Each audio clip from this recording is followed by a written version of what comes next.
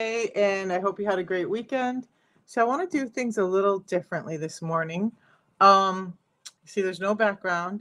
I'm just going to talk about insulin resistance. What I would like to do is explain it, explain some of the things that are leading into it or that are caused by it, so you can have a better understanding of what it is and how um, you can go about taking care of this one thing that's impacting 93% of us and our health. So again, that's insulin resistance. But when we think about insulin resistance, most people think about like diabetes and being overweight. But there's so much more to it than that. It affects your liver, it affects your kidneys, it affects your heart. It can cause high blood pressure, which I'll be doing in depth videos all week this week on how insulin resistance is causing your high blood pressure and the fact that 95% of high blood pressure comes from insulin resistance. And so it's affecting all that. It's affecting your brain because your brain becomes insulin resistant at the same rate that your body does. We don't think about anxiety, depression. Good morning, Melba.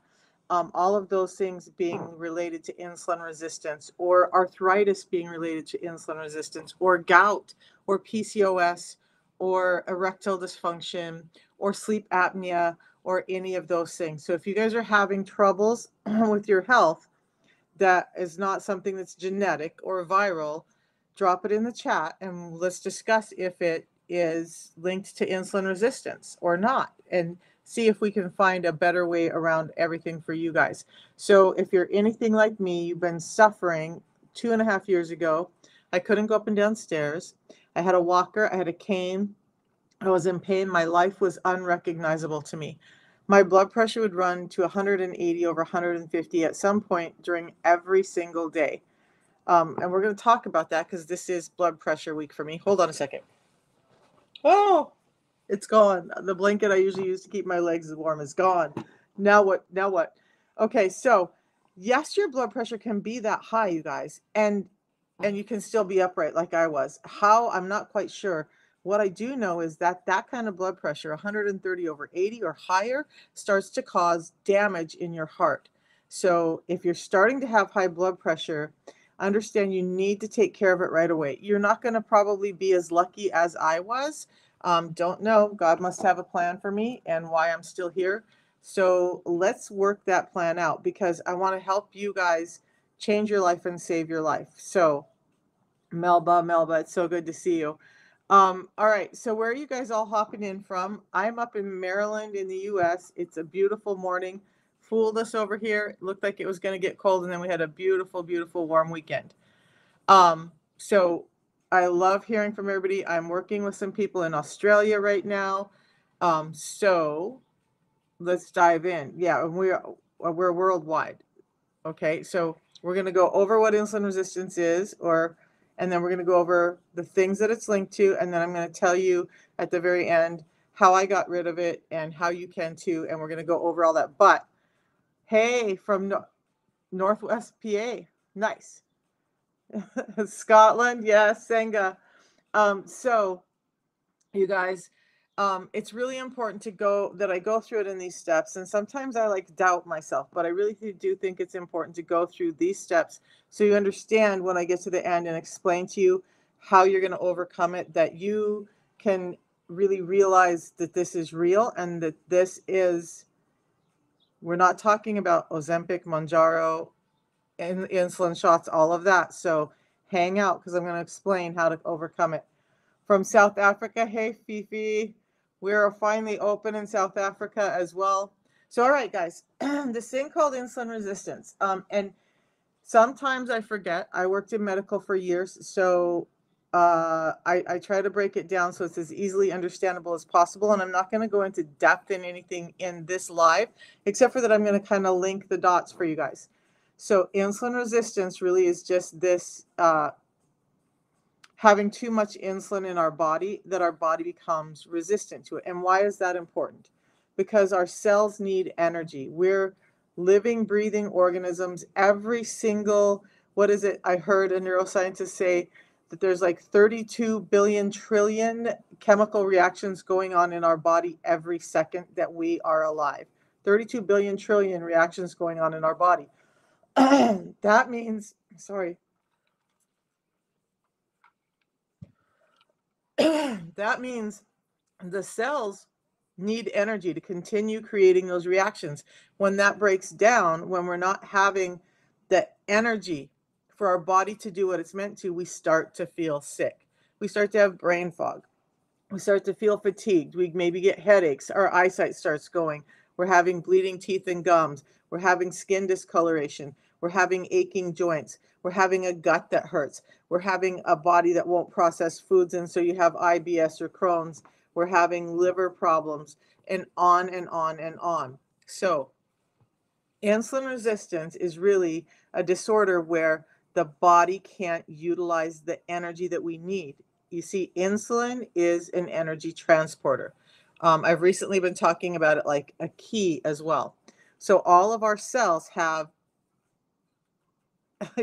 and that's pretty common of everybody. So hang out, Kitty, because we're going to go over how, why this is happening, and then I will show you guys what I did and and I'll give you a couple of solutions as to how you can fix it. All right. So when we eat food, remember food is just energy in our body.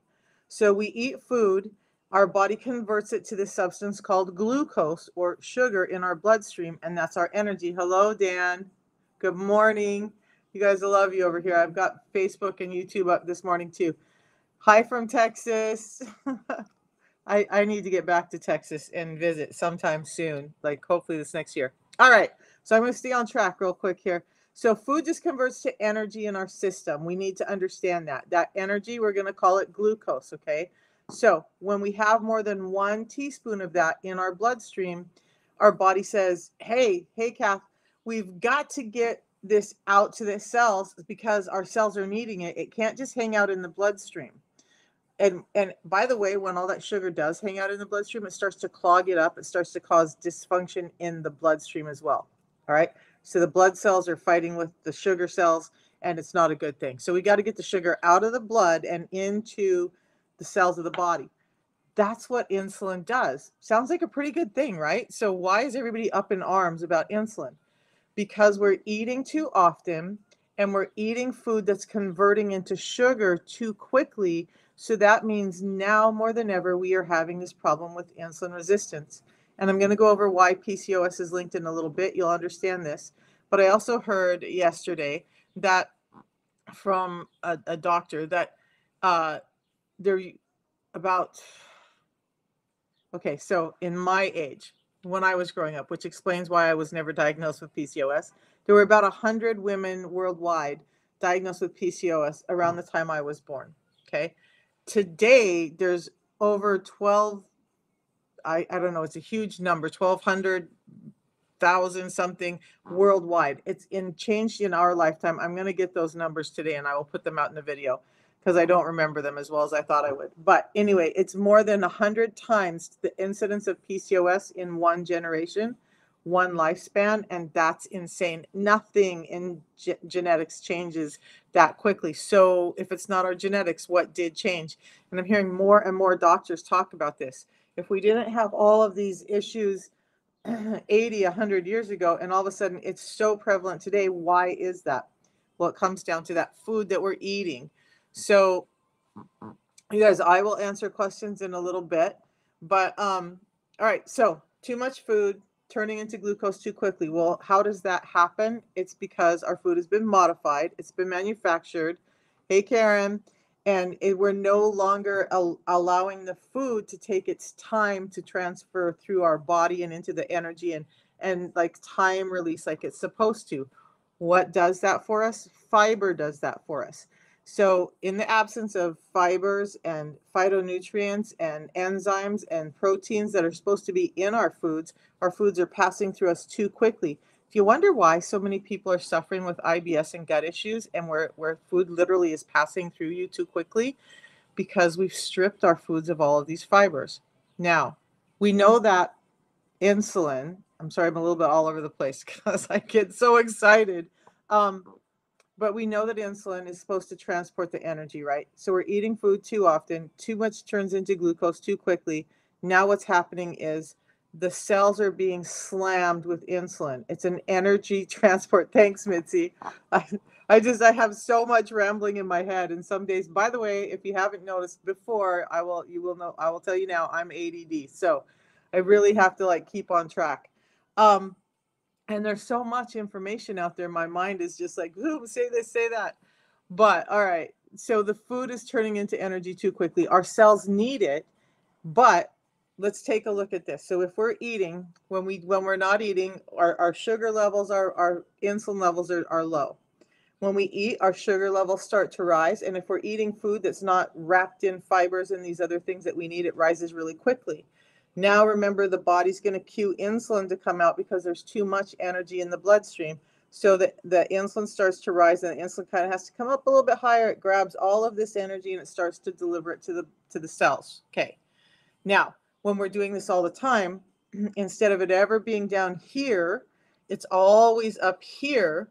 So our we're eating every two hours, we're eating food. Hey Kamisha, we're eating food that's turning into sugar too quickly and now our sugar is high almost constantly. So that means our insulin is trained to come up here and be above the sugar to grab that and deliver it. So we're constantly having this high amount of insulin because we have to have insulin when our sugars are high. Some people will say our blood sugar drops. We'll go over that if you um, um, ask in a little bit. I'll tell you why you get this low blood sugar and why it's related to insulin resistance. But understand that our body is very trainable. So if we're eating all the time, our food is converting to glucose all the time, guess what happens to the body? It says, I've got to continually put out insulin so that it's at a high amount because this person over here is going to just dump all of the sugar into my system and we got to get rid of it. So now I'm going to have this army of insulin out here ready to take off this, this sugar and distribute it. But what happens then is the cells of the body are like, that's fine and dandy, but I don't want anymore. I've had enough. You're knocking at my door all times, day and night. I'm done. So now that key that insulin has that unlocks the cell to allow the energy in, that key in the presence of too much insulin starts to get a little bit rusty. So the cell starts to get resistant, and now the cells are not taking up the energy it needs. Now you're starting to get sick. So, um, Fifi, I'm going to go over all of that in just a little bit. Hang out for a second. We'll go over that. If I don't stay on track, I'm going to get all over the place. So I hope that makes sense. Insulin resistance comes from food that's imperfect. We're eating too often and it's turning into sugar too quickly. So we've got to slow that process down. Part of it is we don't need to snack. We're going to go over that too. Um, and then so if we can get the insulin levels to come down, our cells will start to become responsive to insulin again. But in the meantime, the food industry is selling us snacks. They're telling us to eat every few hours. There's chips and there's protein bars. Look at when candy bars started to become evil, they said, okay, we're going to create a protein bar. And that's going to have as much sugar as that candy bar, but we're going to say it's high in protein. So they're going to buy it and think it's healthy for them, but they're still going to buy the snack food. That's what they're doing to us. We don't need that much energy. That's why we get heavy. Okay. So, um, and you guys, it does not relate to whether you're overweight or not, by the way. So there are a number of people who are extremely insulin resistant and thin but it still is affecting the rest of the cells in the body. That has to do with how your fat absorbs this, this insulin. So this is the next step. When the rest of the cells in the body are like, I don't want you, I'm not taking it anymore. insulin says, Well, I have a job to do. I have to deliver this energy somewhere. So we have this storehouse in our body, and that storehouse is called our fat cells. We have two kinds of fat cells. So it's going to start storing fat. And if you're the kind of person who has a lot of um, subcutaneous fat or that subcutaneous fat can multiply, it's going to start storing it in those fat cells. But what if you're thin everywhere, but your belly's starting to pooch out? So what's happening there is there's a there's a center in your brain that cues that excess energy to get stored in this place called visceral fat that's underneath the the muscle wall of the belly, but it reaches up into the throat and in the tongue. And we're going to talk about how that relates to sleep apnea in a little bit. Either way, it's converting that into fat and storing it. Now, when your body says, and this is different for every person, when your body says not storing it as fat anymore, then that sugar starts to go back into your bloodstream. This is when you start seeing your your A1C go up, your blood sugars go up, your triglycerides change. You could have been dealing with this for 14, 20 years. For me, it was over 40 years that I was dealing with it and nobody caught it. Nobody diagnosed it. I had all the symptoms, I had all the stuff, and nobody was talking about insulin resistance. In fact, one doctor just told me, There's nothing I can do for you. We did all the tests, and she came back and said, Your metabolic type is the worst I've ever seen, and I can't do anything for you. You're always going to be heavy, you're always going to be tired, you're always going to be in pain, and your life is going to be greatly shortened, and there's nothing I can do. So, why am I talking about it on here? For those reasons, because I know that if I worked for a doctor, I was very well educated about my health and no one talked to me about it. Um, oh, she said, she was, you know, every doctor had, you, you guys, doctors have so much on their minds. I've worked for some really kind doctors. I've worked for some that are just like so overwhelmed. They're just like disseminate the information, move on. Um, there's there's all kinds just as there's all kinds of us right i don't i don't hold it against her um she was doing her job and she actually if you could see the look on her face as she was delivering that to me um it was devastating for her too so it wasn't like she was just like oh yeah whatever she was devastated by the fact that she couldn't take care of me or that she didn't have the tools to be able to take care of me so since then i found the tools to reverse almost all of that and uh, we're going to talk about that in a little bit all right um, so the interesting thing is because we talked about the fact that insulin resistance is foodborne, okay, that it's a factor of there's actually two ways that insulin or there's a number of ways. I'm not going to say two. I could count the ways. Let me count the ways. Food is the primary way we become insulin resistant. That's the big key, okay? There are a couple of other things I want to recognize and as far as becoming insulin resistant. So Maybe you've had the same diet all your life and you've been fine, and all of a sudden you start noticing all these symptoms that I talked about, and you're like, what just happened to me? Well, trauma can cause you to be more susceptible to insulin resistance. So it's like flipping a switch. So whether it's a physical trauma or emotional trauma, anytime where cortisol is heightened for a long period of time, you're in an abusive relationship, those things re- remarkably can cause you to be more likely to become insulin resistant than someone with the same genetics and the same diet who hasn't been through that trauma. Okay. So the other thing is inflammation. Um, I'll let's just give me one second. I'm going to finish this and then we'll talk about sugar levels. Okay. So if you've ever had an infection or you've had surgery or again that physical trauma that causes inflammation in the body, there's a chemical reaction that happens and that starts to make you more likely to be insulin resistant. Ladies, do you ever wonder why you gain more weight after being pregnant? Then, you know, like you could eat whatever and do whatever before you were pregnant, and all of a sudden, after you're pregnant, you or have had a child, you have noticed that you're having more problems with your weight, all, all of that. The state of pregnancy puts you naturally as, as a form of um, protection for the body for the baby puts you naturally in a slight state of insulin resistance. Now that flip has been switched. The switch has been flipped. There we go. The switch has been flipped. So now you're more likely to become insulin resistant because your body's already experienced it during pregnancy and by the way i talked about this a few weeks ago just a little side note when you breastfeed, you have six times more insulin receptors in your breast than anywhere else in your body. This is important if you're concerned about breast cancer, that you uh, understand insulin resistance. But it's also if you're having children, when we started moving away from breastfeeding, you remember how ladies would have babies and they'd get all big and puffy, and then they would have their child and they would breastfeed and they would all of a sudden like deflate like a, a balloon. Well, the act of breastfeeding helps you become more insulin sensitive again. So that's just a little side note. Um, yeah. Okay, Katie. So that's I will we'll talk about that next.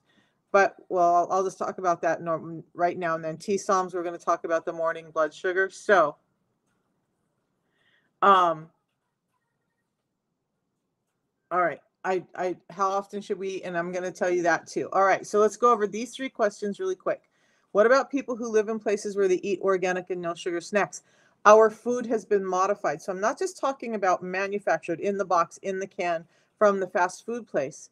When you look at, if you guys look it up, what our foods used to look like, our food used to be about like a peach used to be about the size of this small, a little bit sweet, crunchy, a little bit tart. Peaches are now bigger than the size of my fist, super juicy. They're just not as firm.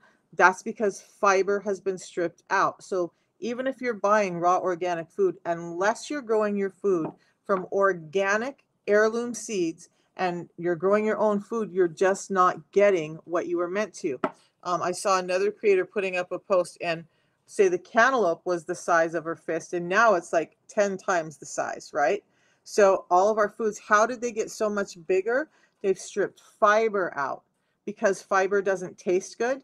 Fiber is bitter, it's hard, and we want bigger and it's more dense and we want bigger, better, juicier, sweeter food. So the food industry says, okay, we're going to modify our food and we're going to create something that they're going to like. Broccoli is a man made food. Okay. Canola oil is man made. There's a lot that's changed about our food. I went home to Montana. Um, was it last year? The year before. And I was surprised because we had a little piece of land that my parents were keeping for us kids. And on that was a raspberry patch that we had when I was a child. The raspberries, the biggest one I found, biggest one was barely the size of the tip of my pinky. You go into the ro- grocery store and buy organic raspberries now, and they're bigger than the size of my thumb. How does that happen? Think about that. So just eating raw organic makes you it, it better for you. Yes, I'm going to agree with that. But does it stop it? No, because our food has been so changed that our body just doesn't recognize it anymore. So the next question was um, I'm going to answer Fifi first. How often should we eat? What I do, you guys, to help with my insulin resistance is a simple time based eating plan. Okay.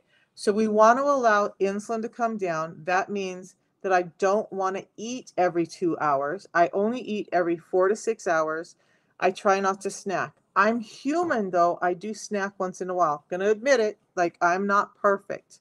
Is anybody on here perfect? Because I'm not.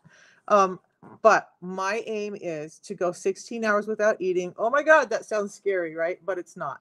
So 16 hours without eating. I have my I will have my break fast today. We had dinner at what time was it? 5:30 last night, and then I didn't eat again.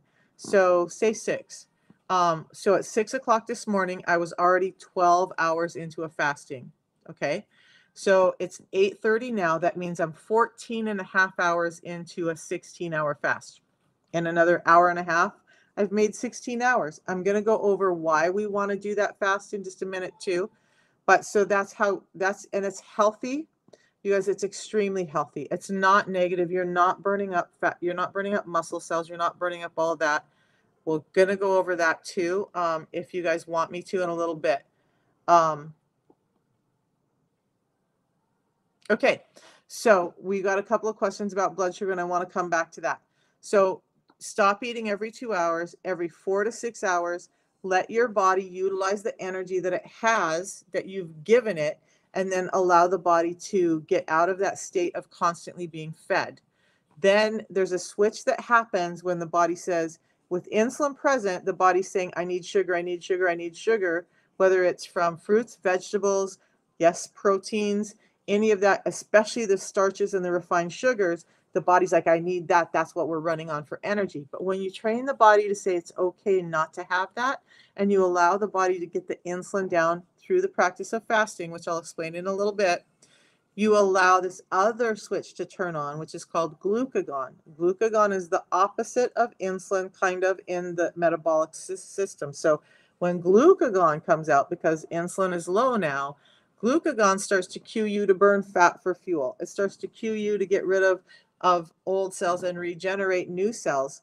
Um, remember, with insulin, it's trying to do all the work by giving you all the energy your body needs that just like you have times where you're up and you're doing stuff and you're and you're working and you have times of rest your met- metabolism needs the same thing Okay, so we're going to go into that in a little bit if anybody needs to know more about that. But I really want to answer these questions about sugar because I've had a couple now. So, um, your morning blood sugars, what was that question exactly? I can't remember the, the question exactly about, oh, what, what should your morning blood sugars be if you have intermittent, uh, if with intermittent fasting? Okay, that also is going to be different for everybody. What I think you'd like to see is a morning blood sugar of around 98 to 100, 105, 110. Why? Okay, because what we're not taking into consideration for most people um, and Dan, this is going to lead into your question. So Dan on Facebook said, I noticed my evening workout lowers his blood sugar and morning workouts don't reduce the blood sugar as much. So let's talk about that because it's kind of all in the same group, right? So there's this thing called the dawn phenomenon, okay? So the times the times of day that you eat are not critical and I work with you on what times that you should eat for you. Okay, um, so you don't have to like if you're a shift worker and, and these times don't fit, we work with that. So I would not do a 16 hour fast while breastfeeding. All right, so Fifi asked that question, and no, I would not. But let's get back to the sugars. So you have this thing called the dawn phenomenon. Let's think about it. There's this other hormone in the body that's almost as powerful as insulin. When we talk about hormones, insulin's a hormone. Um, there's a number of things we're going to talk about that are hormones, but insulin takes precedence over everything else when it's present in your body.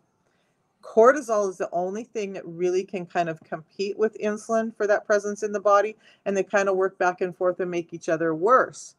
But cortisol is the one that gives you the fight or flight response. Okay. So when insulin is turned on, it's turning on cortisol slightly all the time. Dawn phenomenon. Cortisol when your body is cued. So for shift workers, that's going to be a different time because your body's changing. This is why people who are shifting shifts, it, it's it's hard on your body. But your body says, like for me, I'm training my body to be up at five every morning because I want to go live at eight and I have all these things I want to do, meditation and stuff first. I will wake up between five and five thirty every single morning, no alarm. Okay. That's cortisol. Your body goes, Oh, it's that time of day she needs to get up. She has things to do. She has a world to conquer. She's got to go do things. So cortisol rises in the body. Your heart rate starts to go up and it starts to pull um, sugar into the system because your body needs energy. Now your blood sugars are a little bit higher because your body's getting ready for the day. If you wait a couple of hours, even without eating, wait a couple of hours after that dawn phenomenon, that wake them up and get them going part, your blood sugars will come back down. If you're testing your blood sugars right away in the morning and they seem a little high to you, it's probably the dawn phenomenon and the body's natural response of get up, get going, let's get let's get moving. Okay. Um, so times of day. Let's talk about when your when your food converts to glucose more quickly and when it converts to glucose less quickly because even on my team, there's a woman who has been giving some information that I have to say, unfortunately, she's wrong. So let's go over it. We have that dawn phenomenon, right? So we're already having sugar in the body. That also means that anything you eat, whether it's protein, fats, or carbohydrates, fats don't convert into to um, glucose very quickly at all.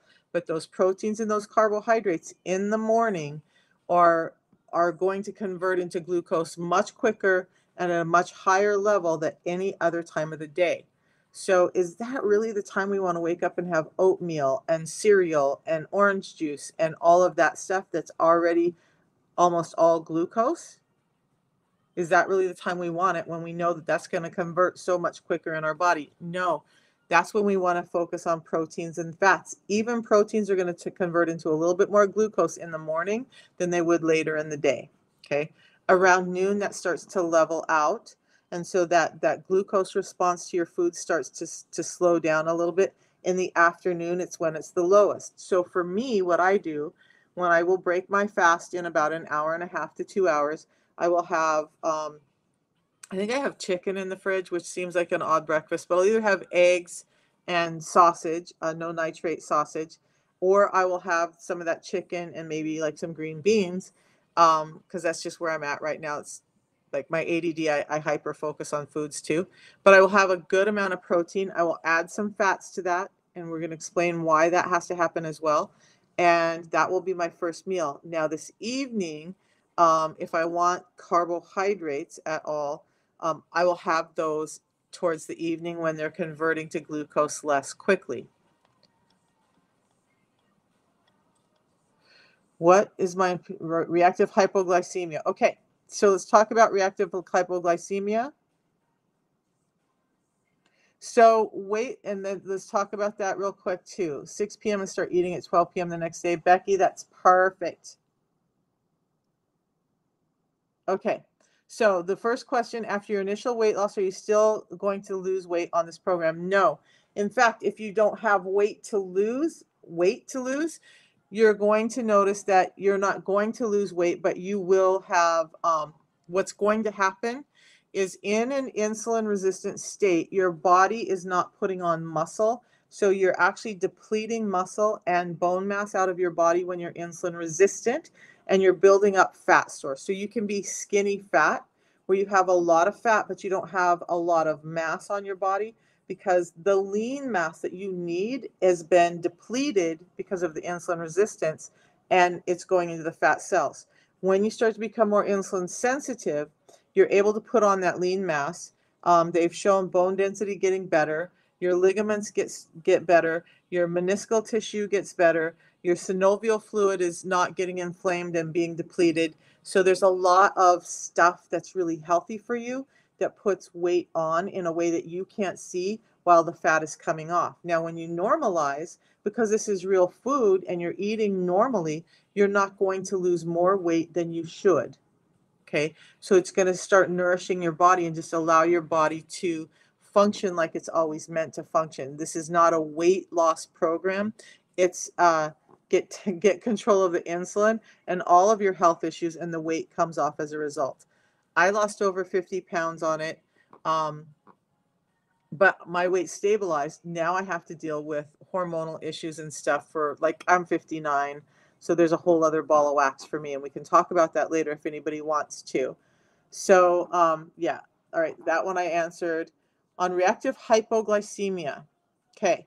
So reactive hypoglycemia um, in, in short happens a little something like this. Remember, we have food that's converting to sugar and that is is pumping up our, our sugar right?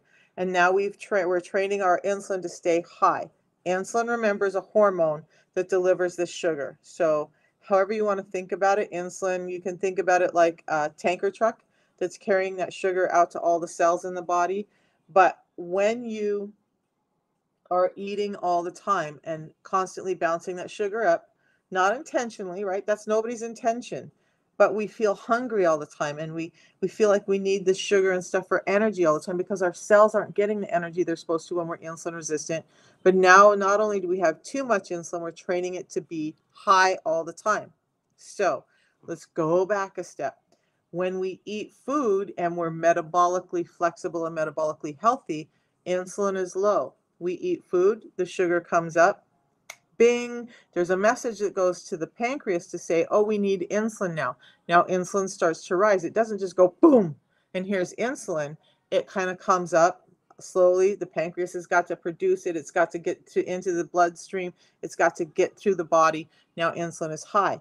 Insulin resistance is happening because we're eating every two hours. The food is converting into sugar too quickly. And now we're training insulin to constantly be present in the body, and the cells are sick of it. So, hypoglycemia. When the insulin is high already, okay, so it's already high, it's not down here, and you're eating again, the sugar, your, your blood sugar is going to spike. Insulin's going to go, yippee, I got a job to do. And it's going to take all of that energy and it's going to start to deliver it. It's going to knock on the doors of the cells. They're going to say no, most of them. And then it's going to go, okay, I'm going to deliver it as fat, but I got to get it out of here because this person keeps eating every two hours and they keep eating food that's converting into sugar. And, you know, I know that I'm saying that the body says we need energy. So they're going to have candy bars, they're going to have chips, they're going to have starches, they're going to have stuff that's really simple and converts to sugar. So I got to get back up here and I got to stay here. Sugar goes up, insulin delivers it. Your sugar gets out to the fat cells or wherever, but it's out of your bloodstream. So now you have hypoglycemia, reactive hypoglycemia, because the insulin level is too high all the time. Um, okay. I hope that made sense a little bit. It's not ex- exactly scientific, and I can do a video on it later, but um, with more of the science. But for this, I, I just want to focus on the overall uh, concepts. Okay, so that's what's happening. Amazingly, so let's talk one more thing about um, hi from Tunisia. Uh, let's talk about the insulin response and that hypoglycemia. When your blood sugars get down to about 60, you're still safe if you are not, and this is according to Dr. Bikman, if you are not experiencing things like lightheadedness, headaches, fatigue, feeling shaky, or like you're going to pass out. If your blood sugars are just dropping, well, then let it get to about 60. Stop all this constant eating and don't be doing.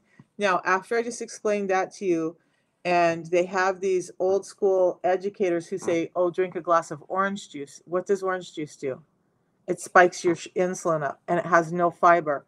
So it's it's spiking the blood sugar, it's spiking the insulin, and now you're caught in this negative feedback loop where you're just going to constantly fight that.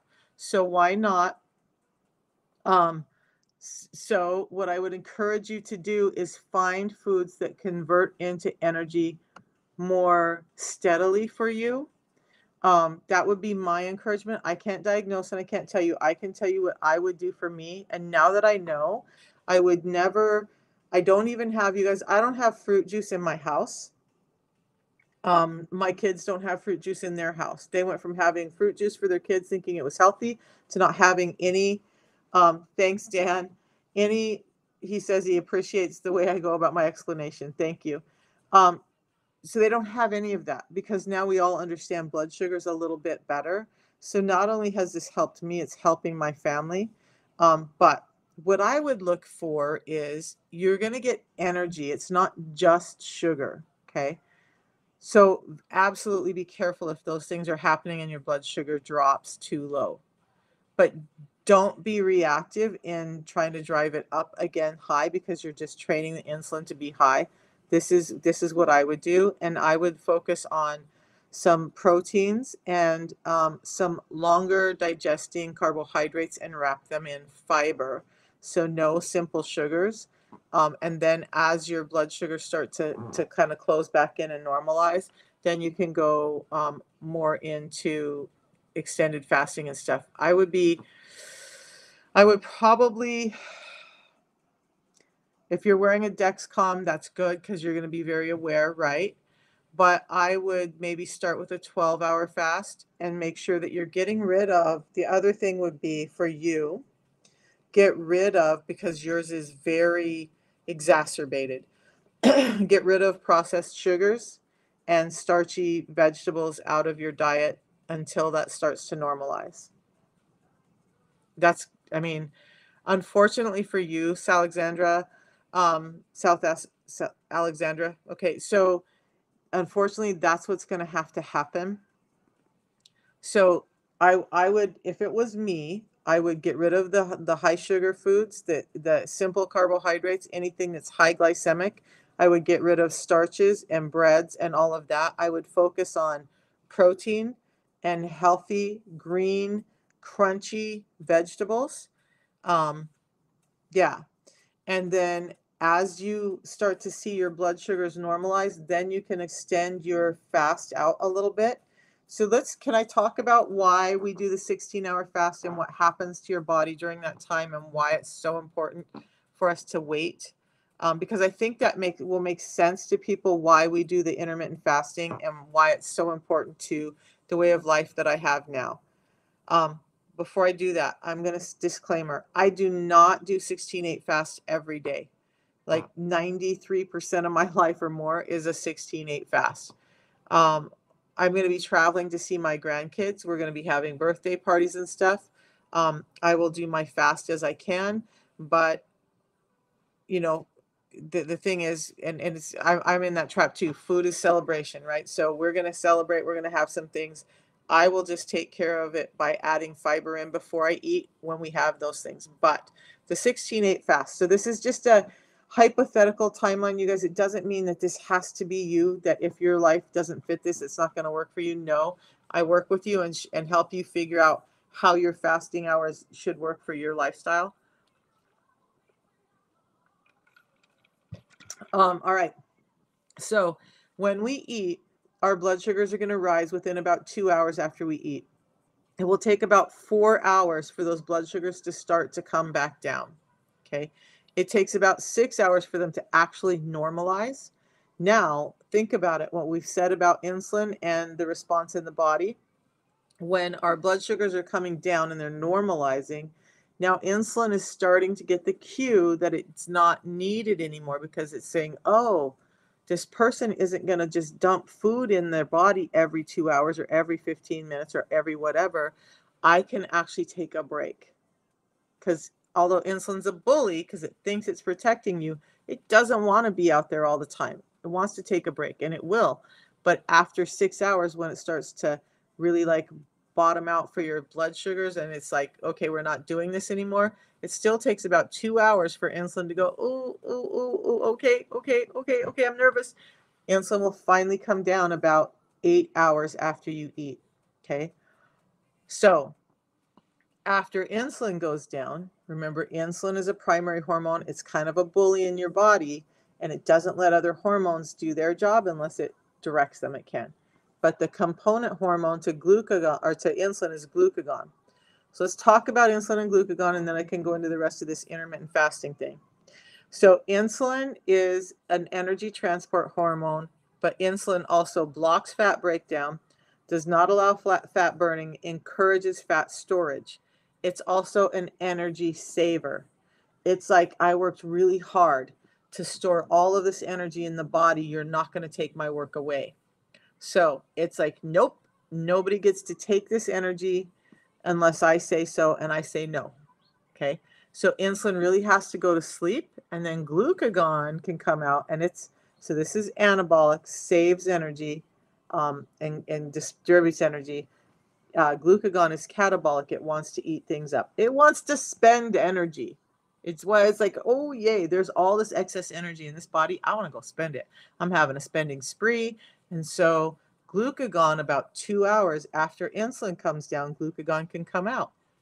And then glucagon's kind of like, whoa, I, I, am not used to this. Is this okay? What are we doing?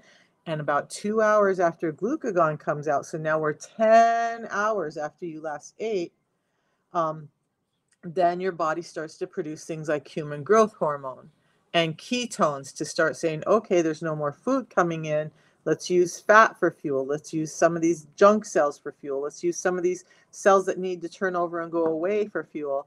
And all of that starts to happen around hour 12. So, yes, exercise does.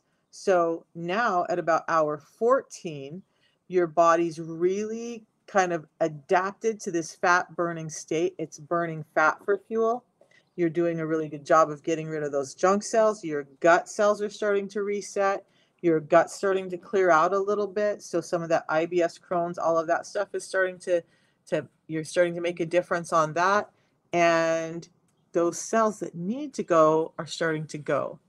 At hour 16, you have a meal and you feed your body. What I'm going to suggest you do is in the first meal, you have protein and fats and limit your carbs. So, we're going to talk about fats and protein, and we're going to talk about carbs and fiber in just a little bit, but that's how I would start my first meal. And then about six hours later, I have my next meal, which is again protein focused and fat focused. And then I have carbs if I'm going to have them at that meal, higher amount of carbs. And I'll talk about macros in a bit too. So, exercise, that question.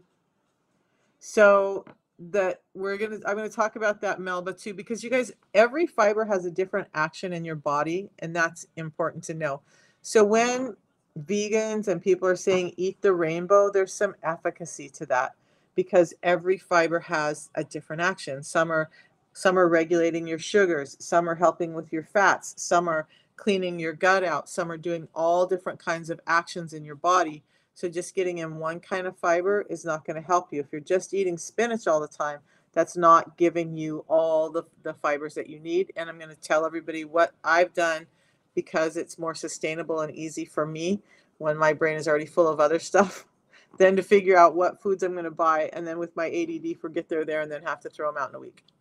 That's my life. All right, so exercise.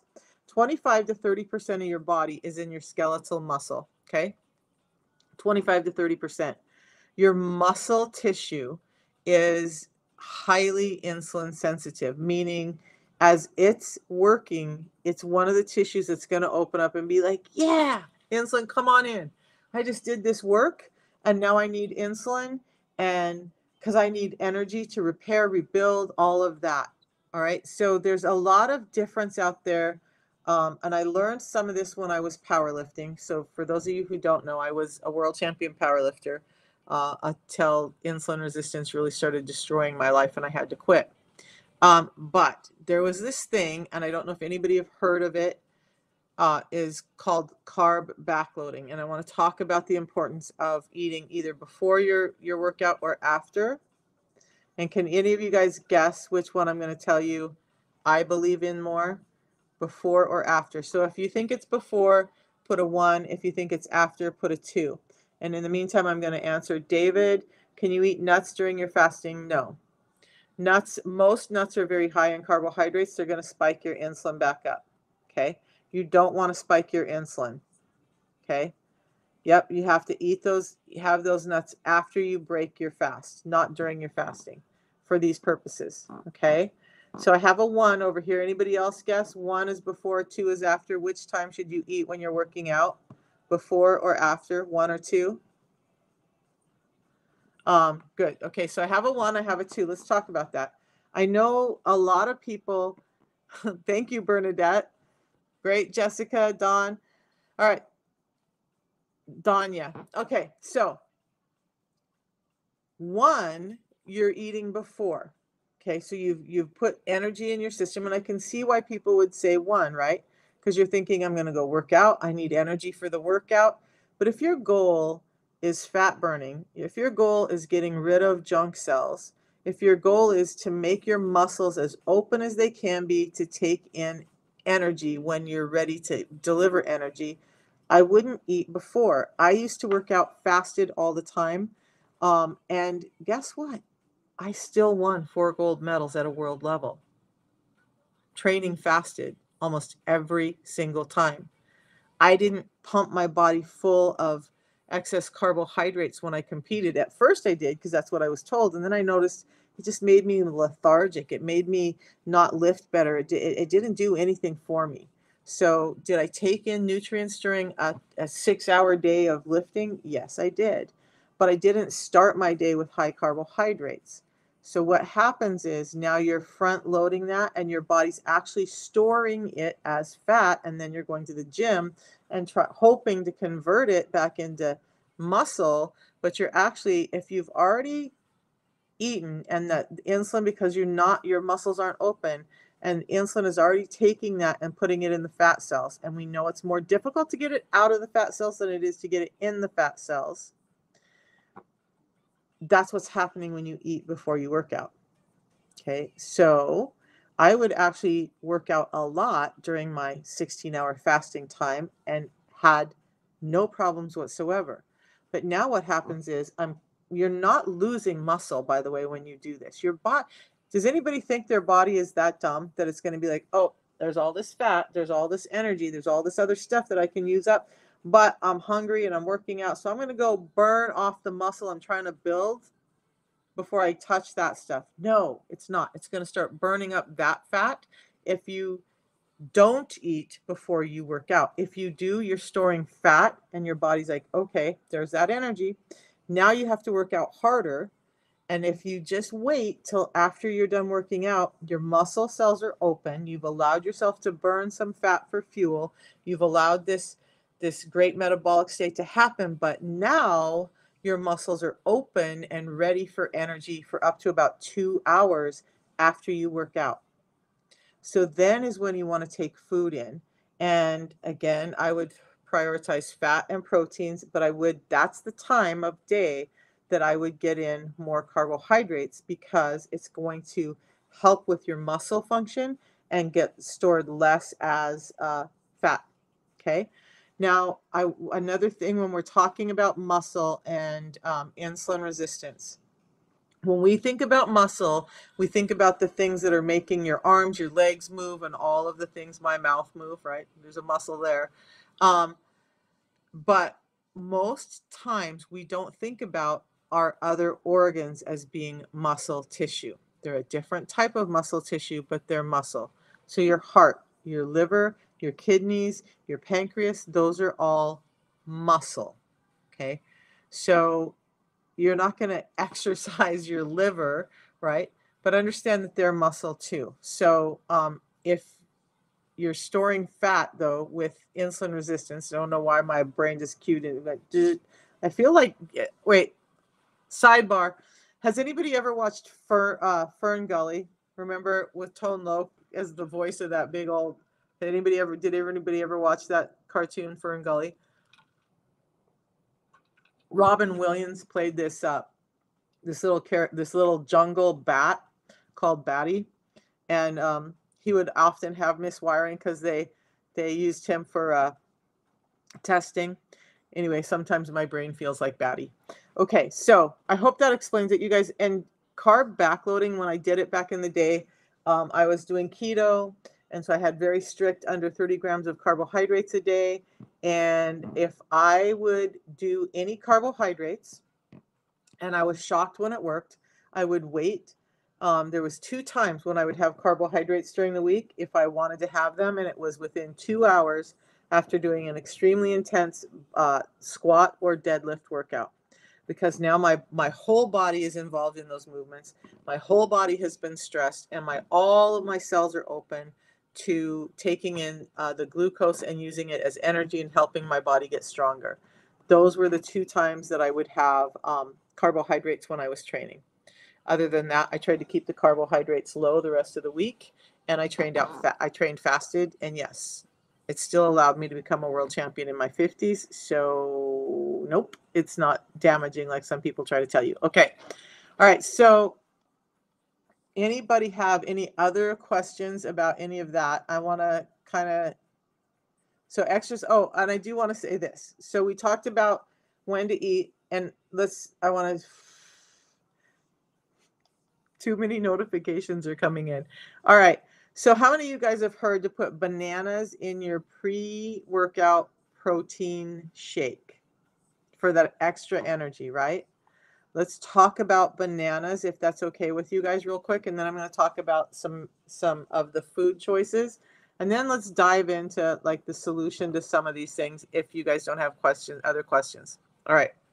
So if we know that we need fiber, that fiber is what's slowing down our food from converting into these substances called glucose um, too quickly that is causing all of this havoc in our world.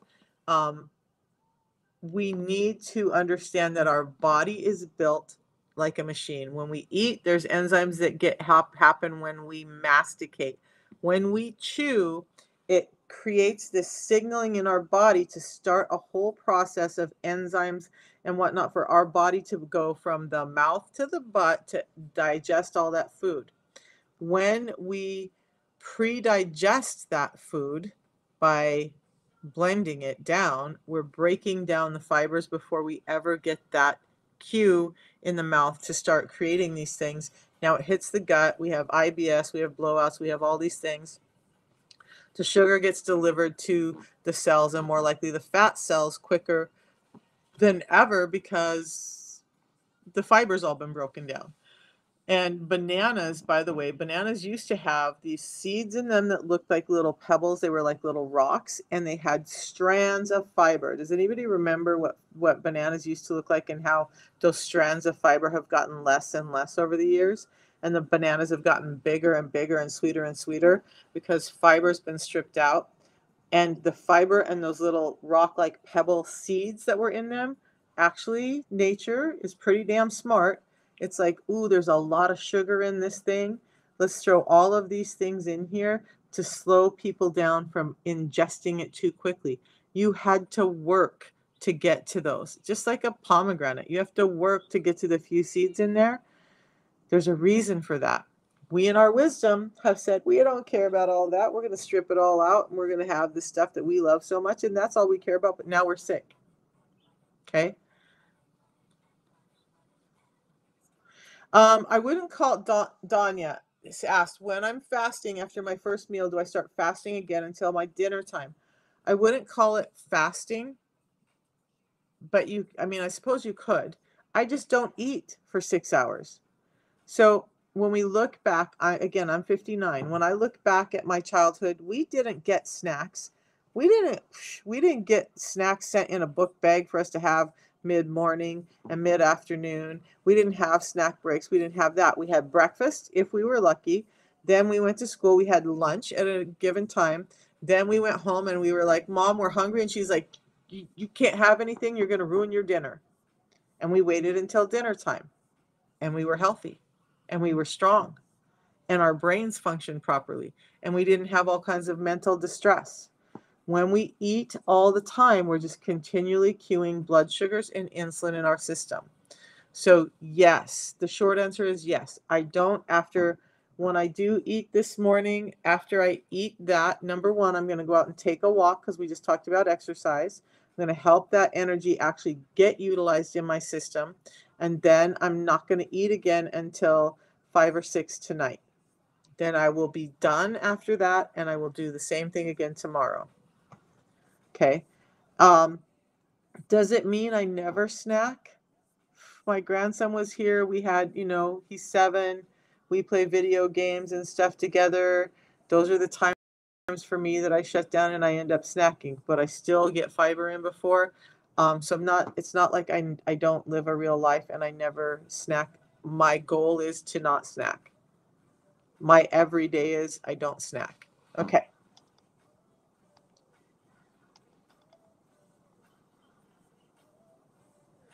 So potassium is great for that too. But um, you know what I used to use? So Jenny, um, I do not sell this product and I am no way affiliated with them, but I'm going to encourage you.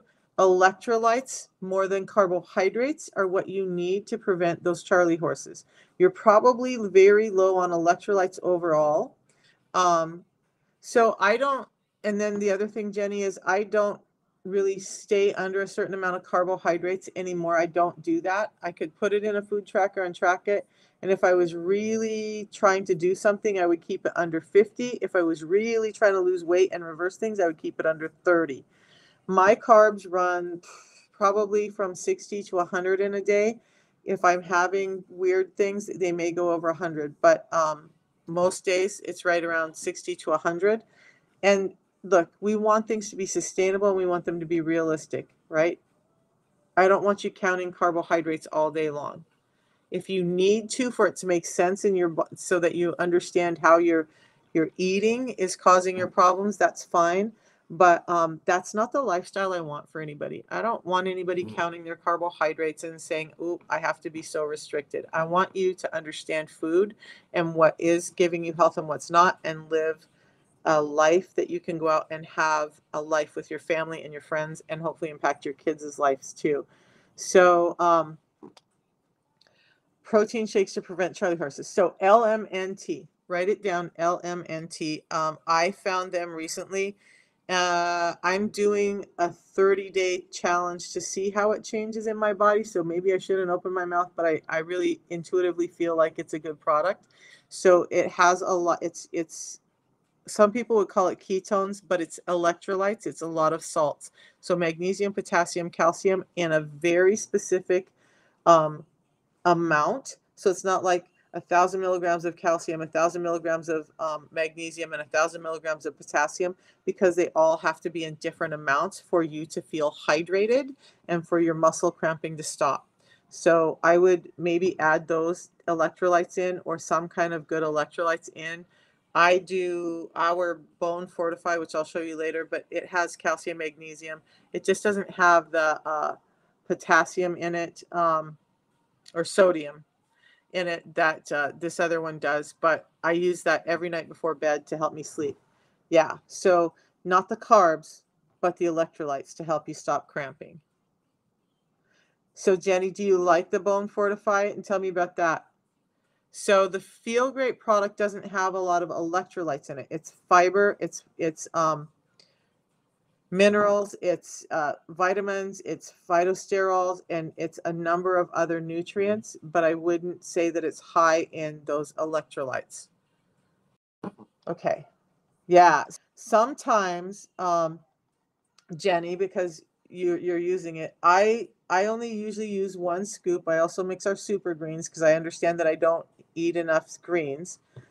And the Oasis. you're you're hitting all the things, Jenny. Yay. So this one, this tea this morning is actually the I'm gonna tell you, I don't know if you've done this yet. It's called a Unimatcha Balm. We're gonna go over the products real quick. But Jenny, I mix these two together in the morning. Hmm. But this is higher in caffeine, so people with with blood pressure shouldn't do that right away. Um, so I mix these two, and my blood pressure is still normalized. Tons of energy. Um, chai ceremonial grade chai oka and the herbal mate mix. Um, amazing. It tastes great together. Later today, when this is gone, I'll mix this with the Oasis and have that that way. Still tastes great, but I get my Oasis in. If I forget to do that, I'll mix the Oasis with my Bone Fortify before bed. Okay, guys, let's talk about how we're going to get over some of these things and then i want to dive back in and answer some more questions about um, what what illness is is um, is being caused by all of this and uh, hopefully give you some answers on that. And then watch for my videos all week this week. I'm going to be breaking down five different ways that insulin resistance causes your high blood pressure from thickened blood vessels to blood vessels that can't open up to blood vessels that are too stiff to all of this stuff, even down to cholesterol. So, um, watch for those videos this week. I have tried the salted caramel. I, I have to try the, the fuel because I don't, my taste buds, I particularly don't like the salted caramel. Um, I've tried it in a number of things now I will put the salted caramel in uh, a protein shake that I that I'm working on for the days where I just don't have time to have a full-on meal, and I like it in there. But a lot of people, but I'm unique. I don't like the salted caramel. Most people do. Okay. Um, my daughter loves it. Everybody else likes it. I'm just like that weird person. You're always going to find somebody who doesn't. They also have the unflavored one, which I need to try. The the the Unimate fuel has um, MCT oils in it. You guys, I'll try to do a video on MCT oils too. I have so many videos to do this week. Um, it would be great in a vanilla protein shake. So um, my goal is to have uh, that cookbook or at least the drink part of it ready for you guys for Christmas so that you can know how to mix some things together. All right. So back to the protocol. You guys, if we talked about the food is causing the problem and that we're eating too much, you know already that I'm going to advocate for that intermittent fasting. I use the complete protein from our company. Why? Um, you guys, I'm a very let's let's break it down just a little bit. I'm a very loyal person when I find something that works and when I find somebody I can trust, I'm very loyal to them. What I know with Unicity after working with them, after being to the offices, after talking to the scientists and some of the corporate people, and just watching how responsive they are to everything, um, I understand that every single product they do has science behind it. And so if I'm going to choose a protein that's out there, I want one that's um, digestible, that has a good vitamin mineral pro- profile, that's low in carbohydrates, um, that the body's actually going to use. And I trust that with our protein. Um, some of the proteins, especially when I was powerlifting and I, I lifted in a very strictly drug tested federation, by the way, no, I never did steroids. Um, there are a number of proteins out there that they'll tell you you're getting all this muscle gain and stuff because they're pumping it full of steroids and some of those proteins have caused my fellow athletes to be banned um, up to two years from our organization because they were found to have uh, that in their system. So I use our protein because I know it's it's uh, metabolically available and I trust the company with it. So that's why. Um, all right. So they still have the chocolate protein for a while now. Um, I'm trying to stock up on that. They will not be doing the chocolate when we run out of it. We're out of it. Um, the vanilla will always be available. So the the recipes that I'm putting together that do have our protein powder in it, I've just adjusted for that by adding in like some cocoa powder. It's easy, you guys, but it's uh, the, the chocolate protein is great. All right, so food. I'm going to advocate for intermittent fasting and I'm going to wait on the rest of the questions till I get through this little part, okay? So now if we understand that we need fibers, we want to talk about that, right? We got to get fiber in first and that's going to help slow down how quickly the foods convert into sugar in our system. And I'm going to go over macros in a second and explain those. So you guys, you can try doing this on your own. And if that's if you do it that way and you get healthy, I'm going to applaud you. But if you feel like you need something sustainable, I'm going to go over the protocol that um, we're using. And uh, that just makes it more easy and sustainable for everyone. So fiber first, because remember, it's going to slow down those sugars from getting absorbed into your system. And then protein. Protein converts into sugar half as quickly as carbohydrates do. And then fats. Protein always has to be paired with fats. I promised I would talk about that. We'll talk about that after this section. Then, then after fiber, protein, fats, then you can have the rest of your carbohydrates. Okay. Um, and limit them. So, and that's exactly the order you want to eat them off your plate. Fiber, then you want to focus on your protein and fill up with those proteins first and pair them with fats.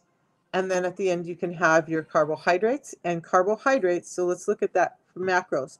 Macros just mean the big pieces in your food. So there's there's um, carbohydrates, there's proteins, and there's fats. Proteins and fats have to be paired. I'll explain that always. I'll explain that later. But you always have to have fats with your protein. Fats are not making you fat. Okay. So if it's not a protein and it's not a fat, then it is a carbohydrate. And this blows people's minds. So corn, peas, green beans, spinach, apples, oranges, all of those are carbohydrates. If it's not a protein, if it's not a fat, it is a carbohydrate. Fiber is just an undigestible carbohydrate. So you're going to see some things that have um, a higher carbohydrate load, and then you want to figure out the fiber that's in there, and then the, the digestible that's going to turn into sugar is actually the balance between the two, but you don't have to get all that sciencey. Just know that if it's not a protein and it's not a fat, then it is a carbohydrate, okay? So that's the order you want to eat. There's been tons of studies and tons of people talk about it, how that changes it. The glucose goddess talks about how that changes, how your glucose is going to spike in your system. Um, Jessie in Shos in Shosby. Is that how you say her name? Um, anyway, so what I do because I live a very busy life. I don't. I live alone. I if I go, I already proved it. I had to take a bunch of food up to my kids because I'm leaving in a couple of days, and ADD, all of that, I overbuy.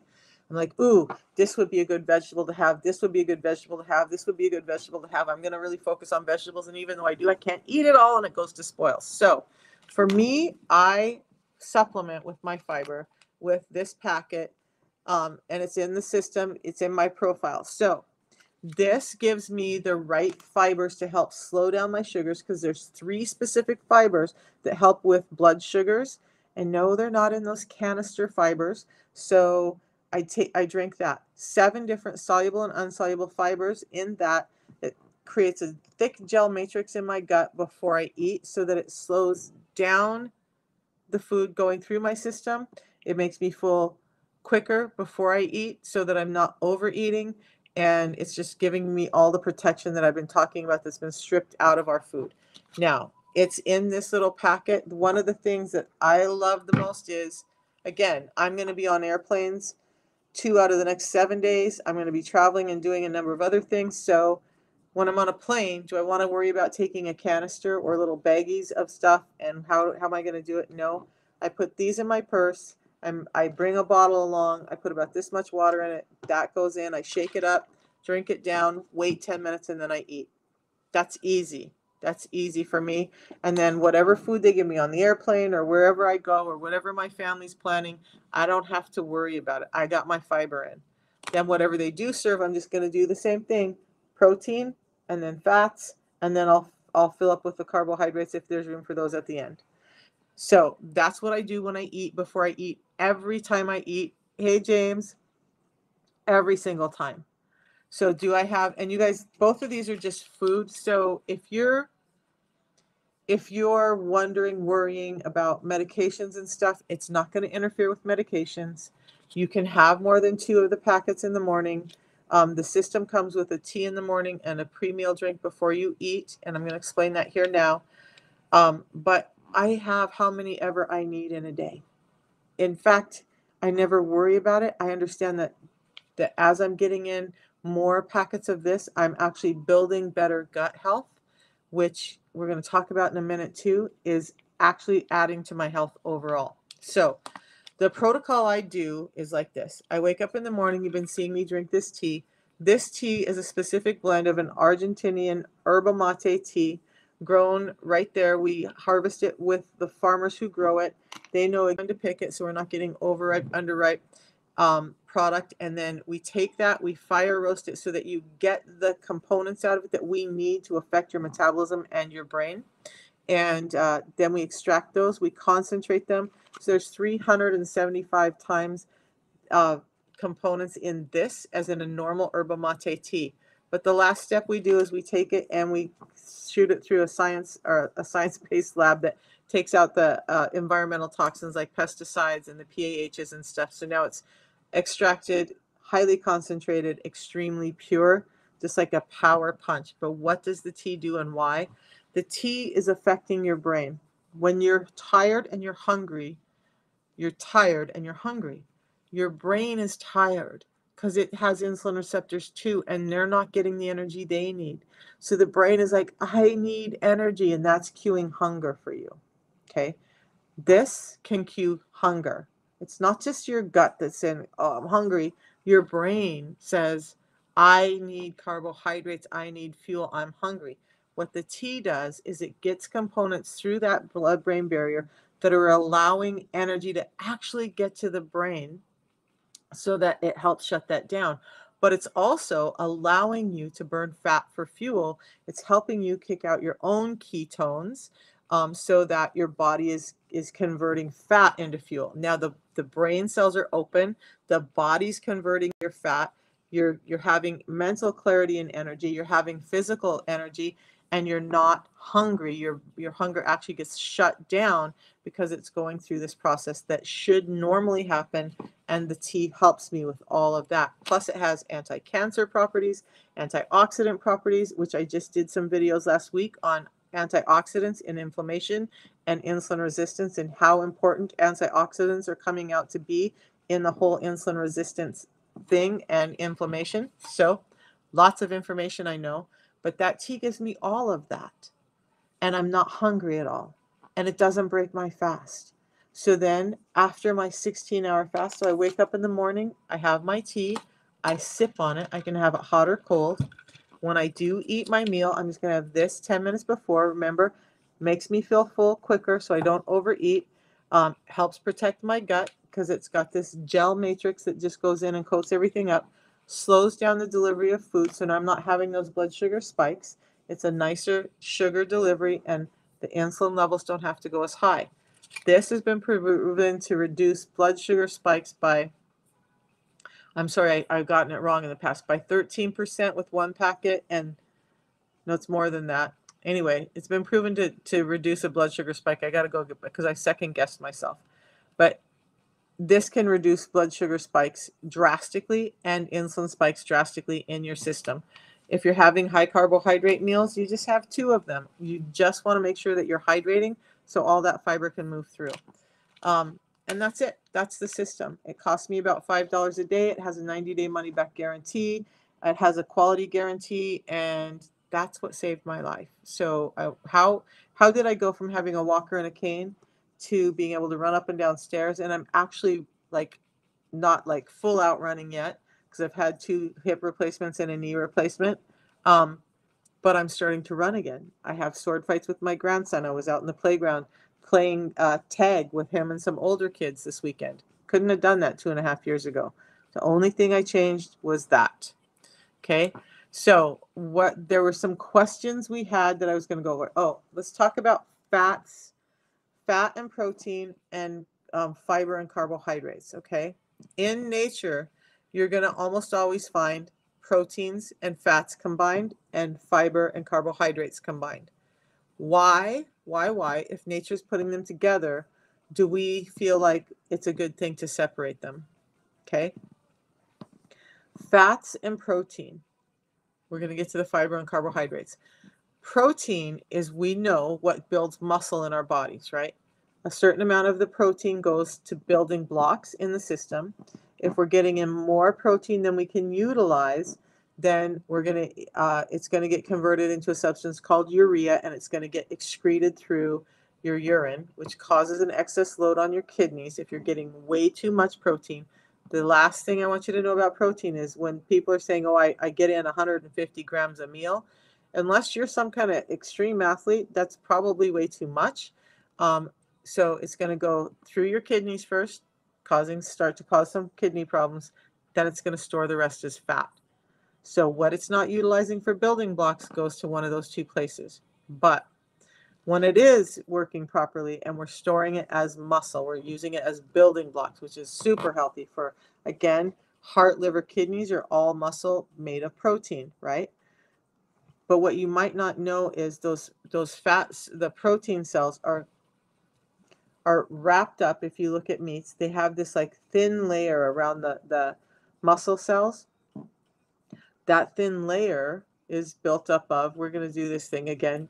I think you could guess where I'm going with this.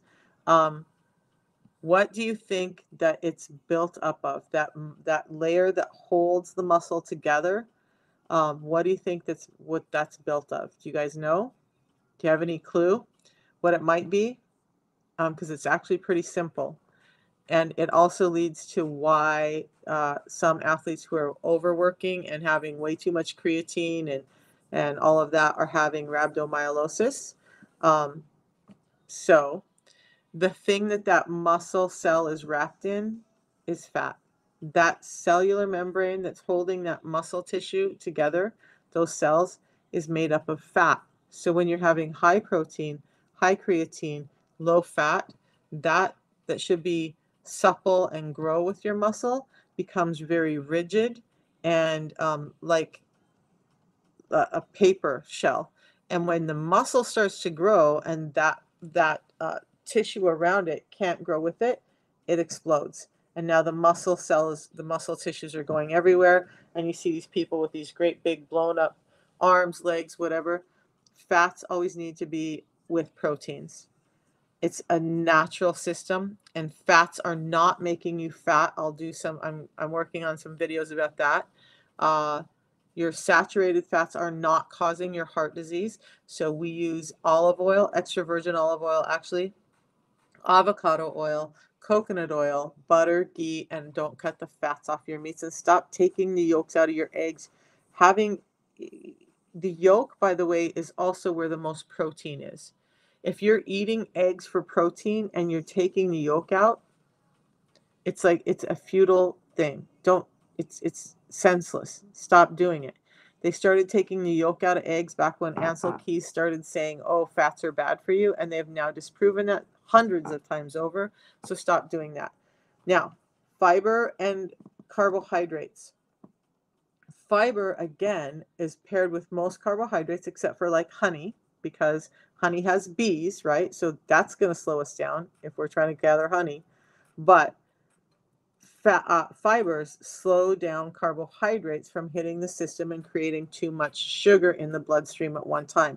It allows this carbohydrate that you're eating as energy to be somewhat time released so that you're not getting the blood sugar spikes, you're getting this nice level delivery of energy. Without that fiber, without the fiber, I'm going to use a different finger. Without that fiber, the carbohydrate converts to sugar really quickly, goes into your bloodstream really quickly, pipes up your insulin really quickly and then starts to cause havoc throughout your body. So carbohydrates should always be paired with fiber. Always, always, always, always, always, always be paired with fiber. Okay. All right. Any questions with any of that? Was there was there something else? I know I've said I was going to talk about a number of things. Did I? For those of you guys who just joined, we're talking about insulin resistance. Um, I probably will end this pretty soon, but if you're having problems with let's yeah, yeah let's let's talk about this what is linked to insulin resistance and what are some of the symptoms that you might have if you think you're insulin resistant or that might tell you that you're insulin resistant. Okay. So, number one, and this is the thing I'm going to be doing videos on all week, is your blood pressure. If your blood pressure is 130 over 80 or higher, you are very likely insulin resistant. Don't need any other test than that. Okay. Since medication isn't going to fix this, don't need any other test than that. Start addressing your food, start doing what I just talked about and start getting your insulin under control. Yes, work with your doctor, but I'm going to tell you, my doctors never caught it, never addressed it um, until I started doing the system. Now, my doctor, who I worked for, is just like, I'm so proud of you. This is just amazing. I can't believe you did this because she was terrified for my health that I wasn't going to make it through my 60s too because I was so sick. Okay. So, um, now I just lost myself. That's how my day goes. Um, I started thinking about her, what happened. ADD brain. I was talking to you guys. I started thinking about this doctor who was a great friend, beautiful soul, wondering where she was, and there went my brain. Um, symptoms. Okay. So blood pressure is one. We're back. We're back. Um, another one that you're going to look for is if you're starting to have that belly that's bulging, that's poking out that's a sign of insulin resistance because your brain is now cueing your your brain hypothalamus is cueing your body to store fat in this area underneath your belly um, that is called brown fat but it starts getting in around your your organs like your liver liver's on the side your kidneys your heart your stomach uh, all of that starts to get impacted by this fat and now your belly is poking out because it's extending the muscle underneath the belly. Whereas other fat for most people are just going to go around the body. That still is insulin resistance when you have uh, or too much insulin. But if you're skinny everywhere else and the belly's poking out, that's a sign. If your triglycerides are high and your HDL is low, that's a sign that you're insulin resistant. Um, if you're having migraine headaches, body aches and pains, anxiety, uh, depression, those are all signs of insulin resistance. Um, this over, overall, and I just did a video on that a few days ago, overall sense of pain that you just can't explain. Like, I don't know, doc, my whole body just hurts. I, I don't know. And they can't figure it out. And so they call it fibromyalgia. Most fibromyalgia is linked to insulin resistance. So there's a clue there as well any of these things can tell that you're insulin resistant. But if you also have, if you're a lady and you have PCOS, if you're a guy and you have erectile dysfunction, those two things, Dr. Bikman, who wrote Why We Get Sick, would call it metabolic infertility. Those are two big clues that you have insulin resistance. Um, and skin. If you have skin tags, those little mushroom like projections that are poking out around your neck, under your arms, all of those places, that's insulin resistance. It's an excess production of skin cells because although most of the cells are, are resistant to insulin, there are some cells that are going to take up too much energy and so they're going to overproduce. Those um, skin cells called keratinocytes that create your skin tags are one of them. And then if you have dark skin patches on your neck, under your arms, on your elbows, uh, it could be on your knuckles, around your ankles, anywhere where skin rubs. Um, ladies, it could be around your bra line. That's a sign of insulin resistance because it's overproducing melanocytes and they show up as uh, melanin difference or um, melasma can be linked to insulin resistance. So any of those, if you've got one, you're most likely. If you've got two, start addressing it. If you've got four or more, you need to take care of it. So, all right, I saw Anybody have at least one of those? Type of one in the in the chat for me. Anybody have at least one of those? So high blood pressure, belly that's poking out, skin issues, um, PCOS, hormonal issues, headaches, body aches. Um, okay, so any of you guys have at least two of those? Put a two in here for me. You had all of them. Okay. So the the bottom line is, you guys, right? I get I'm getting a, a several all of them on on all the platforms. So with the with that, I'm gonna I'm going to encourage you to understand that you are likely insulin resistant and you should probably take care of it. And again, it comes down to our food. This is not a medication. Um, you know, people will say they feel better after they've taken metformin or, or some of the other medications, but it's not curing the problem. Three, Raquel, you're ahead of me. she she said three, so she had at least three of them. But you guys, this is pro is prominent with most all of us. We have at least two to three of those, right? Yeah. So, and I would encourage that for most people. But so, what do you do when you have like a wedding to go to or a birthday? And I'm not talking about every day. Do you um, do you just avoid that at all costs now? And because this the protocol that I talked about allows you to have those moments in time and just use the fiber beforehand and still have that cake at the wedding. So that's how I choose to do it. But yes, I would say cut out sugar and processed foods as much as you can. But I also want this to be um, easy and sustainable for people. So I find that there are some people who can just do that, but how long are they willing to do that? How long are they willing to just like cut out all of that for the rest of their life. And I'm not, this is nothing against you because I totally applaud that. But most people just can't. So the system allows it to be sustainable and easy and flexible for us. So it's giving us back the fibers and the energy that we need so that our bodies can live in the life that we live today. Um, I cook most of my meals at home, but I have meals out from time to time. I don't worry about it because I just get this in and now all of my symptoms have been reversed and I stay healthy every day. Am I cognizant of it and cut out sugar and processed foods as much as possible? Yes. Do I do it all the time? No. But, you know, so that's where we're at. Most people, I want you to start where you're at and start to feel better with what you're doing. And then if you want to work into something more, more, uh, restrictive, that's up to you. But in the meantime, I want you to know that your health doesn't have to be like highly restrictive and difficult. That's the thing is it shouldn't have to be difficult to get your life back and to have your energy back and to have your health back and to overcome all of these things. Troy just jumped in. Troy, I, if you're still here, you want to type in and let them know. I would invite you on, but I'm on multiple platforms again. Um, Troy has done really good things with his health by doing this. And you guys, I, I have so many people that I work with that would have never stuck with it if it wasn't easy. Because we all have those moments of time when we're like, I can do this. I'm really committed to my health. I'm going to do everything I need to do. And I'm going to be really restrictive. And then times come along, Christmas is coming up, Thanksgiving is coming up. And then you're like, dude, I just don't know. I just don't know how much I can not have all the times with my family and the cool thing with the protocol is that it allows you to have those times with the family. And like we're having, so I don't know what everybody else is planning for Thanksgiving, but we don't have the Thanksgiving I used to have as a kid. So we're going to have turkey. I love cranberries. I'm Native American. Um, our tribe raised cranberries. So cranberries are a must for me. Um, I make my own so I can limit the sugar that goes into them. We're going to have corn casserole. We're going to have green bean casserole. My son wants Hawaiian rolls.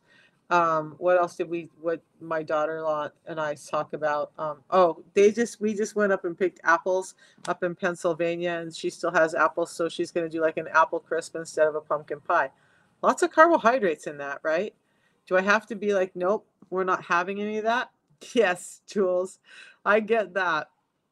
So, um, and unfortunately though, corn, as our ancestors, more specifically yours, grew them Eh, was very different than what we have today. Once a day only. Yeah. You so Lisa, you made me say it, Lisa. Okay, so understand though, and I don't know if you were here earlier, if it's so we have three macros in our food, right? Protein, protein, fiber, and carbohydrates. If it's not a protein, and it, I'm sorry, protein, fats, and carbohydrates, like fiber is stuck in my head. Um, so if it's not a protein and it's not a fat, then it is a carbohydrate. So if you're telling me you eat carbohydrates only once a day, then you're telling me that you never have spinach, green beans, broccoli, um, asparagus, any of that any other time of day. And so corn is very different. And what um, what has happened um, to it is that it's again like everything else had fibers, enzymes, and nutrients stripped out of it, and it's been modified to the point that it's really high in these starchy carbohydrates. So I love corn too, but I know that the corn that was uh, indigenous to, to this continent is nowhere near what we have today. And so it's not giving us the health that we used to get from it. Um, and so that's part of the protocol that I use, Jules, is putting all that back in. And it's not just the corn, like um, cranberries are even bigger than they used to be. Um, you know, peaches are apples, and, and all of it is just different. You guys, if you please go Google what our foods used to look like, so that, like, I'm a very visual person. If you can do that and start to see how much our food has changed, and even think like I have, I have um, clients who are pescatarian who are vegetarian who are like i i buy everything at the farmers market. I do all the stuff. Like i i'm but i'm still sick but this can't help but i'm going to try it because it has a 90 day money back guarantee. And they call me back and they're like okay some of the bloating in my guts gone down. I have more energy. I would have never thought. But it makes sense to them because our foods have been stripped. So whether you're eating all that clean food or not the system is only going to add to your health Again, it's not going to make you lose more weight than you need to lose. It's not going to do that. And I don't like to talk about the weight loss as much because it really is a side effect of being healthy. Um, so there's that. You guys just understand that our food is different and that we do we do have to to put back what's been stripped out. And you know what's even scarier to me is that even with all the changes they've made in our food now, they're talking about all these 3D printers. They're talking about printing our food. So if our food is already unrecognizable to our body and it's causing us to feel sick, what do you think is going to happen when that happens? So I'm all about putting back in what is is meant to be there. And um, before I go before I go off, because um, it's been almost two hours now. Is that crazy? Is that crazy?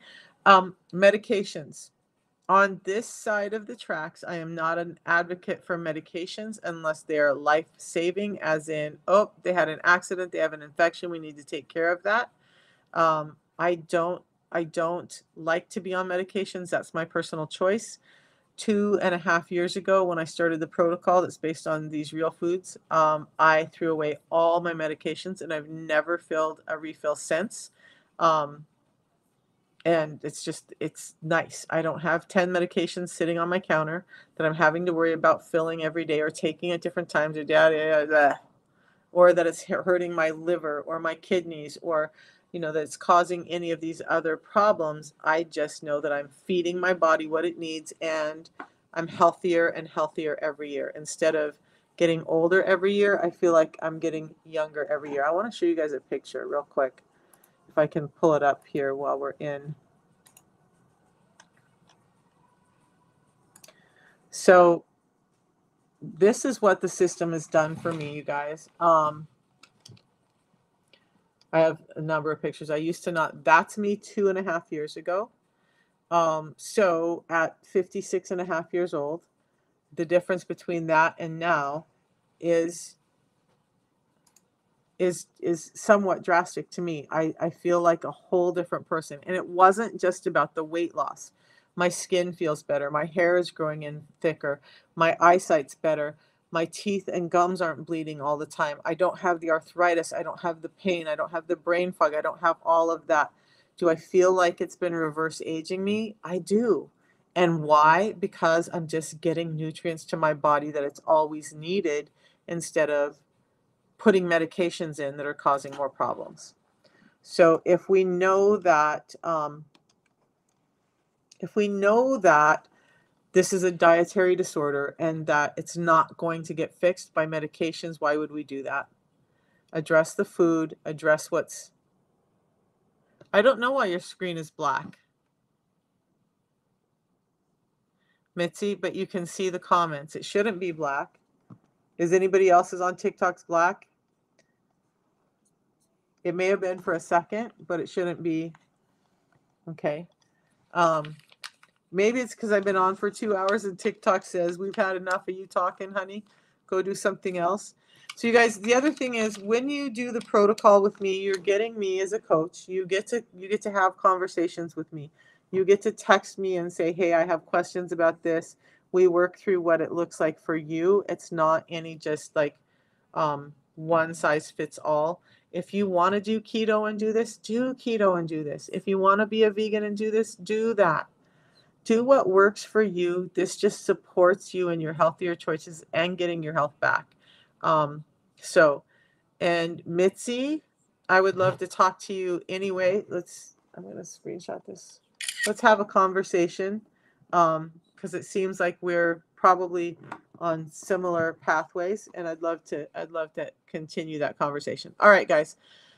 I'm about done. Not only am I ADD, I'm autistic, so my social battery is I need to go take an hour to take some time and then I can call clients. But um, I love you all. I will be back tomorrow morning and uh, we'll talk some more. Look for the videos that are going to come out over the next few days about hypertension, your high blood pressure, which leads into cardiovascular disease, and why insulin resistance is causing that. And we'll get a little bit more into the science with that. And otherwise, we'll see you tomorrow. Thanks for spending your morning with me. Mitzi, thank you for all your interaction. Raquel, Carla, Prina, everybody over here. I don't know Dan, if you're still on, Melba. Thanks, you guys. And we will talk to you all later. Have a good day.